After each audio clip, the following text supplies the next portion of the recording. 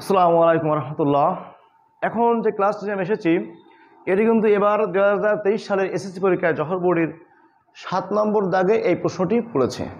কিন্তু এখানে মস্ত বড় একটা ভুল প্রশ্নকর্তা করেছে অথবা প্রিন্টিং মিস্টেক যে কারণ কিছু হবে। তো প্রিন্টিং মিস্টেক না প্রিন্ট তো সব ঠিকই আছে। এখানে একটা জিনিস ভুল করেছে, সেটা আমি বলছি কি ভুল করেছে। এর মান দেওয়া আছে বির মান দেওয়া আছে, এটা উদ্দীপক। কোয়া বলেছে, এটাকে, এই এটাকে রেডিয়ান, রেডিয়ানে আছে রেডিয়ানকে ডিগ্রিতে প্রকাশ করতে বলেছে, একেবারে সোজা। এ ইকল টু ফোর মানে এর মান ফোর হলে এখান থেকে কী করতে হবে? Tan theta equal to one by root three প্রমাণ করতে হবে। আর গ নম্বরে বলেছে, আলফা এর মান নির্ণয় করো। এই জায়গায় এসে সমস্যা করেছে দেখো। বলেছে, আলফা এর মান নির্ণয় করো। তা এটা নিশ্চিত, এটা এখান থেকে আমি আলফার মান বের করব। তো বি এর মান কি দেওয়া আছে? এখানে কিন্তু বি এর মানটা দেওয়া নাই। যে কারণে মানটা বের করতে কিন্তু মানে বের হবে না এক কথাই এবং এখানে আলফার মান বের করতে গেলেও এখানে প্লাস মাইনাস একটা মান আসতে পারে। আমি সেটা তোমাদেরকে দেখাবো। আসলে এই প্রশ্নটি আহ, তোমাদের বইয়ের আট পয়েন্ট দুই অনুশীলনীর মানে উদাহরণের এটা কিন্তু চোদ্দ নম্বর প্রশ্ন এটা উদাহরণ পনেরো নম্বর প্রশ্ন। তোমরা বের করে দেখবা এটা হচ্ছে আট পয়েন্ট দুই অনুশীলনীর উদাহরণ চোদ্দ নম্বর আর এটা হচ্ছে উদাহরণ পনেরো নম্বর। তো চোদ্দ নম্বরটা ডিরেক্টলি মিলে যাবে কিন্তু পনেরো নম্বরটা এখানে বি এর মান ওখানে সেভেন দেওয়া আছে। এখানে বি এর মান সেভেন দেওয়া আছে। আর আমরা সেভেন দিয়ে এটাকে সমাধান করব, আর আলফার মানটা কেমন আসতে পারে, এটা আমি তোমাদেরকে দেখাবো। তো চলো প্রথমে ক নম্বর। ক নম্বরে বলেছে one point five three two এটা রেডিয়ান এই one point five three two রেডিয়ানকে লেখা ঠিক আছে? হ্যাঁ one point five three two এই রেডিয়ানকে ডিগ্রিতে প্রকাশ করতে হবে। আচ্ছা ডিগ্রি থেকে রেডিয়ান মনে আছে তোমাদের? এক ডিগ্রি সমান কত রেডিয়ান জানো? এক ডিগ্রি সমান পাই ভাগ একশো আশি রেডিয়ান। এর উল্টা হবে আমরা কী বলতে পারি? এক রেডিয়ান সমান একশো আশি ভাগ পাই ডিগ্রি। এটা কিন্তু তোমাদের মুখস্থ রাখতে হয়, তাই না? যখন আমরা ডিগ্রি থেকে রেডিয়ান করি, তখন এটা বসাই, আর রেডিয়ান থেকে ডিগ্রিতে যখন করব, তখন এটা বসাবো। তাহলে আমার আছে এটা কিন্তু কি? আছে এটা কি? রেডিয়ান। তো এই রে তাহলে ওয়ান রেডিয়ান সমান এত ডিগ্রি তাহলে one point five three two radian that means এর সাথে কত হবে? একশো আশি ভাগ পাই গুণ হবে।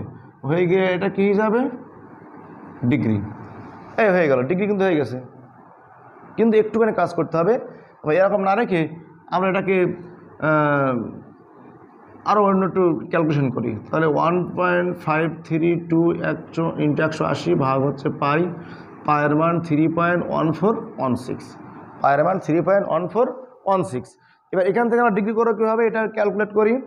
One point five three two into একশো আশি কত আসছে? One point five three two into একশো আশি ভাগ three point one four one six ওই দেখো আসছে, সাতাশি পয়েন্ট সেভেন সেভেন ডিগ্রি।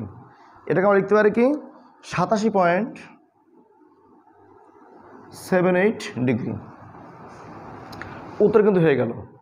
এটাকে যদি আমরা আরও একটু মডিফাই করি, যে না এখানে কিন্তু ডিগ্রি মিনিট সেকেন্ড একটা বিষয় আছে ডিগ্রি মিনিট সেকেন্ড তাহলে দেখো এটাকে লেখা আছে, দেখো, এই যে গোল মতো ডিগ্রি ভালো করে দেখো দেখো ডিগ্রি একটা দাগ মানে মিনিট দুটো দাগ মানে কি? সেকেন্ড তো এটা চাপলে কী হবে দেখো তো? কী এসেছে?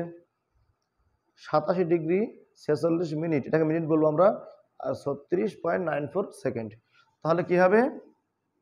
সাতাশি ডিগ্রি ছেচল্লিশ মিনিট ছত্রিশ পয়েন্ট নাইন ফোর সেকেন্ড।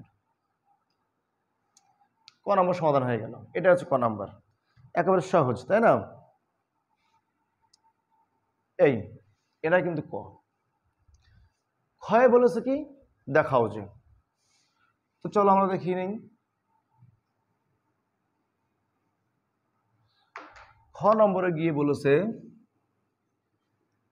এই ইকুয়াল টু ফোর হলে তো আমাদের দেওয়া আছে কি? দেওয়া আছে A equal to seven sine square theta plus three cos square theta আর প্রশ্নে বলা আছে এ ইকুয়াল টু কত? ফোর অতএব বিষয়টা কী দাঁড়ায়? এটাকে এইভাবে কিন্তু আমরা লিখতে পারি। পারি না? অবশ্যই পারি। এখান থেকে বলেছে tan theta equal to one by root three তো এটা আমরা কীভাবে করব? ট্যান থিটা ইকাল টু বলেছে ওয়ান বাই রুট থ্রি এটাকে আমরা কীভাবে করব? তো ট্যান মানে কি? সাইন বাই কজ তো এখান থেকে আমি সাইনের মান বের করব, তো সাইনের সাহায্যে কজ বের করব, অথবা আমি কজের মান বের করতে পারি। কজ বের করে কজের সাহায্যে সাইন বের করলেও কিন্তু এরকম চলে আসবে। আসবে না? অবশ্যই আসবে। আবার আমি কস বের করে আমি স্কোয়ার করে করতে পারি, সেটাও পারি। মানে অনেকভাবে করা যায় অঙ্কটি। তো দেখো, আমি যদি কজের মান বের করি, দেখো তো কী হবে তাহলে সাইন ভাঙবে ফোর এটা গুণ করলে কি হবে? Seven seven minus cos square three cos square এটা ক্যালকুলেট করলে minus seven plus three that means এটা minus four cos square equal to কী হবে? ফোর থেকে এটা বিয়োগ করতে হবে। মাইনাস থ্রি বা কজ স্কোয়ার ইকুয়াল টু কী হবে? আহ, এটা ভাগ হবে minus three by minus four R cos square equal to equal to three by four আমি কিন্তু এখান থেকে এটা প্রমাণ করতে পারি আমরা বইয়ের বাইরে নিয়মে করতে পারি তাই না? দেখো কজ স্কোয়ার মানে কি? ওয়ান বাই সেক স্কোয়ার এটা কি লিখতে পারি আমরা? বা এটাকে উল্টে দিলাম sec square theta equal to হবে কি? Four by three sec square মানে কি? One plus tan square one type এসে গেলে কী হবে? টেন স্কোয়ার ইকুয়াল টু এরকম হবে। এটা লসাগু করলে হবে ওয়ান বাই থ্রি তাহলে এখানে কিন্তু আমি এটাকে, তাহলে এখানে টেন থিটা ইকুয়াল টু কী হবে? যদি প্লাস মাইনাস হয়, কিন্তু প্রমাণে কিন্তু যেহেতু প্লাস মাইনাস নেই, এখানে আমি শুধু প্লাসটাই দিলাম। তো টেন থিটা ইকুয়াল টু কী হবে? ওয়ান বাই রুট থ্রি এটাই কিন্তু দেখাতে বলেছে এটা কি করলাম আমরা? দেখিয়ে দিলাম।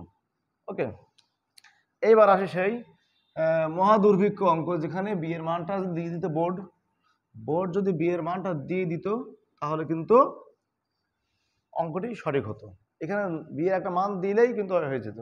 তো আমরা যেহেতু এটা ভাবছি যে বইয়ে আট পয়েন্ট দিয়ে উদাহরণের পনেরো নম্বর অঙ্ক, ওখানে বিয়ের মান সেভেন দেওয়া আছে। তা আমরা ওই অনুপাতে করি, দেখি আলফার মানটা কেমন হয় একটু দেখি। ওখানে কিন্তু বলেছে যে কট আলফার মান কত? কিন্তু আমরা কট আলফা না, আমরা জাস্ট আলফার মান বের করব। এবং সেই মানটা এই রেঞ্জের ভিতরে থাকা লাগবে। মানে minus five by two that means কি? নব্বই। তাহলে মাইনাস নব্বই ডিগ্রি থেকে বড় হবে আর নব্বই ডিগ্রি থেকে ছোট হবে। দেখা যাক কী হয়। তো আমরা বইয়ের মতো করে এখানে লিখে দিই আমি মূল বইয়ের মতো। মূল বইয়ের মতে। ওখানে কিন্তু বি এর মান সেভেন দেওয়া আছে। আবার বি এর মান কি দেওয়া আছে? Five cos square alpha two sine alpha. আচ্ছা আমি আবারও বলছি, এই বি এর মানটা সেভেন কিন্তু তোমাদের প্রশ্নে দেওয়া নেই। আমি মূল বইতে এই অঙ্কটি আছে বলে আমি বি এর মানটা সেভেন ধরেছি। কিন্তু সেভেন না, আমি অন্য কিছু ধরতে পারি। কিন্তু ধরা যাবে না, এটা প্রশ্নকর্তা বলে দিবে যে এটা ধরতে হবে। নইলে এই যে আলফার যে মানটা, এই রেঞ্জের ভিতরে আসবে না, হয়তো নাও আসতে পারে। আচ্ছা তো যদি সেভেন দিয়ে করি তাহলে এটা কি আসবে দেখো তো, পনেরো কত square alpha plus two sine alpha equal to seven এখানে ভাঙবো আমি কার? স্কোয়ার আছে এখানে স্কোয়ার নেই, তাহলে এটাকে ভাঙতে হবে। কারণ আমি কসকে ভাঙলে সাইন করতে পারব বাট কস স্কোয়ারকে ভাঙলে। কিন্তু সাইনকে ভাঙলে তো কস স্কোয়ার করা যাবে না। এই জন্য আমরা ভাঙি, নিয়মটা হচ্ছে ইকুয়াল টু সেভেন বা পনেরো মাইনাস পনেরো sine square alpha plus two sine alpha equal to seven তাহলে এখানে কি হবে? মাইনাস পনেরো sine square alpha plus two sine alpha আচ্ছা কি করলাম? জিরো মাইনাস পনেরো sine square alpha plus two সাইনের alpha plus eight equal to zero minus common নিয়ে পাশে দিলে মাইনাসটা কী হয়ে যাবে? ভ্যানিশ হয়ে যাবে। এবার এটাকে মিডল টার্ম করব। তো আট আর পনেরো গুণ করলে হয় আছে একশো বিশ। একশো বিশকে ভাঙে করতে হবে দুই। তাহলে বারো দশটা একশো বিশ হয়ে গেল। তাহলে twelve sine theta plus alpha ten sine alpha minus eight equal to zero এখানে কি কমন নেওয়া যায়? থ্রি তাহলে থ্রি সাইন আলফা কমন নেওয়া যায়। তাহলে এখানে হবে আছে কি? Five sine alpha minus four okay plus এর টু কমন যাবে। টু কমন নিলে হবে কি? Five sine alpha minus four equal to zero common factor নিয়ে নিলাম। আর একটা আছে কি? এই যে তা দুইটা উৎপাদকের গুণফল জিরো দ্যাট মিন্স কি হবে? হয় অথবা দিয়ে করব আমরা, হয় অথবা দিয়ে।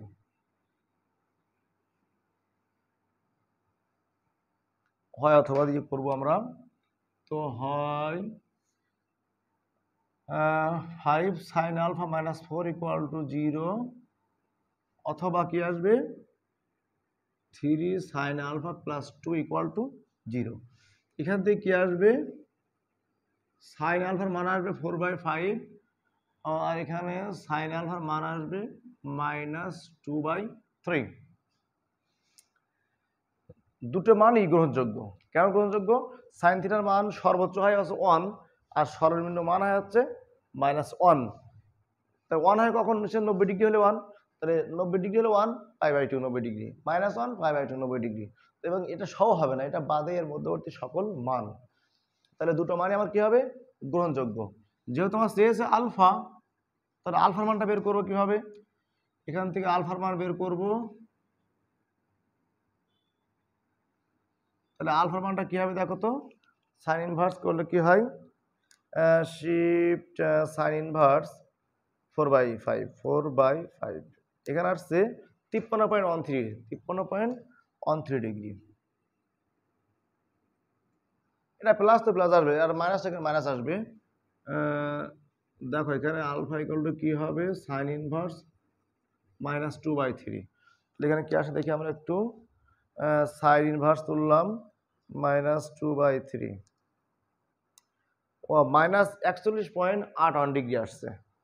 মাইনাস একচল্লিশ পয়েন্ট আট ওয়ান ডিগ্রি তাহলে এই মানে এই যে প্রশ্নের প্রেক্ষাপটে আর বিয়ের মান তো যেহেতু নেই, এই প্রশ্নটা অবশ্যই ভুল, গ নম্বর।